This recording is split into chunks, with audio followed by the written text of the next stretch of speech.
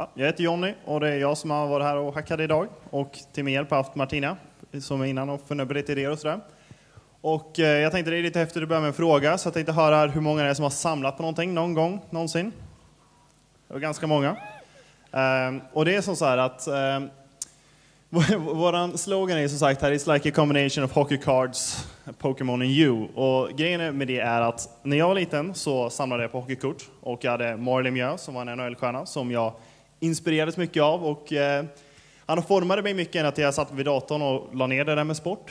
Eh, och, eh, så det vi vill göra här istället är att kombinera den här eh, väldigt beroendeframkallande och fundamentala beteendet hos oss med det här nya digitala och sociala som vi håller på med idag. Eh, och då har vi då Swaply. Den, eh, man går in här, klickar på Connect to Facebook, sen så laddar man upp en bild, sen så väljer man hur ens kort ska se ut och sen så kommer man till den här. Och då är tanken att man ska kunna ta de här korten och byta dem med sina vänner och så vidare. Och vi har redan snackat med tryckerier så vi kan trycka upp dem här sen. Ciao!